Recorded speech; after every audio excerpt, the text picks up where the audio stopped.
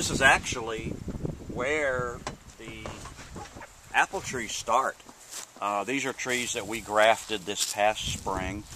And uh, if you'll look uh, in here, you can see the graft union uh, where they were grafted. And uh, they were saddle grafted. Um, and uh, we were checking out a couple of different rootstocks. And all of your apple trees are grafted to a rootstock. They don't come from seeds. Uh, if you if you plant the seeds from an apple, uh, you will not get an exact duplicate of that apple. You'll get a mutation. Uh, and planting and replanting seeds from uh, the same variety of apple will continue to give you more mutations and pretty soon it won't even be a, a, recognizable variety anymore. So the only way to perpetuate a variety of apples is through grafting, which is cloning. Uh, so that you get the, the same peel, the same color, the same flesh, uh, the same flavor. Uh, and that's been going on for literally thousands of years. Uh, grafting pretty much started with the Chinese um, around 3000 BC.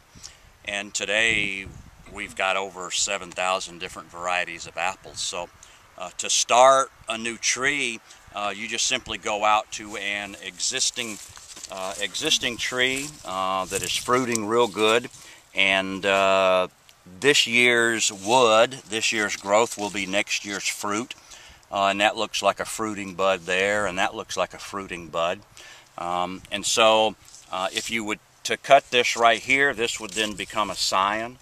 Uh, and then you would then take the scion and graft it to an existing rootstock like this.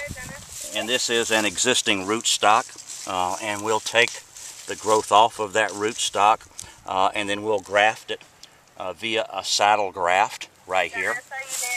And uh, this is actually uh, a graft joint here and uh, we, we simply use electrical tape um, to tape our grafts together. It holds up real good in weather.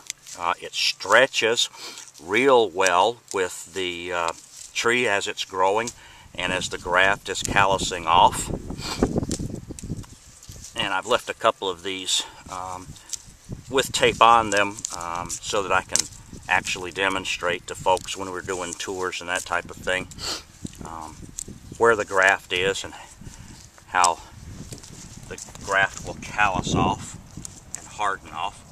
It takes about six weeks for the graft to callus off. We typically will do our grafting in April, uh, early April. We'll cut the scions while they're still dormant. And there's your graft union and there's the original, the original saddle graft. A saddle graft looks like a V, just like this and then uh, when you cut the uh, um, the scion to the rootstock they fit together and the wood has to be tight and it has to be cambium to cambium which the, is the outer bark layer. Uh, and when those match up perfectly typically your graft will take. So after you've grafted a tree how long uh, will it take before uh, they start fruiting? It starts producing fruit. Uh, these could start producing fruit next year. Uh, now, noticing that these that these G11 Jonagoreds seem to be quite vigorous, uh, I may let them produce fruit next year to slow down the growth of the tree. Uh, or uh, if the growth slows down on its own, uh, I'll wait till maybe the third year. Uh, it's better to wait until about the third year under the new training systems. and under the new training systems like tall spindle, the trees can be planted this close together. And then we would train the branches to grow below the horizontal like this. And we bend them down using a biodegradable rubber band. Put the rubber band around the trunk, then around the branch. And as these get bent down, uh, it changes the hormonal structure of the branch so that it produces more fruiting buds than vegetative buds. Uh, so the more fruiting buds it produces, the more fruit you'll get, the more vegetative buds it produces, the more leaves you get and the less fruit. So you want to strike a balance between the two. These will be ready to uh, be pruned up and uh, we'll probably cut these off. Uh, this will be your leader here and then these will have to be staked.